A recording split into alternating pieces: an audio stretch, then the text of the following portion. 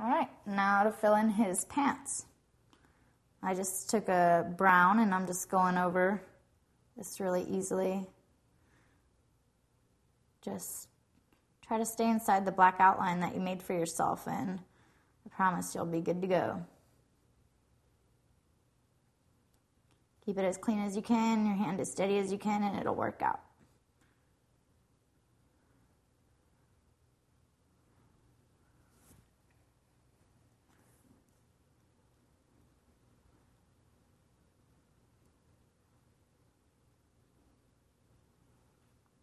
So that's the basic pants. What I'll do next is the shirt.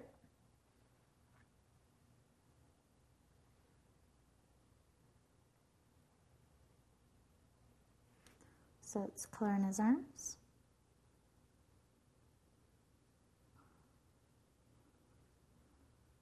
His one arm.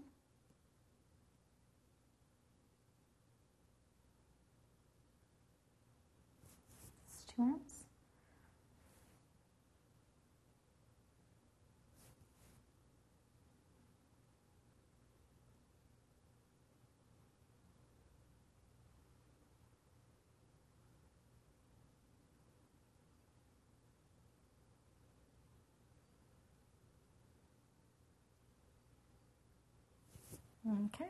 and that's your basic coloring in.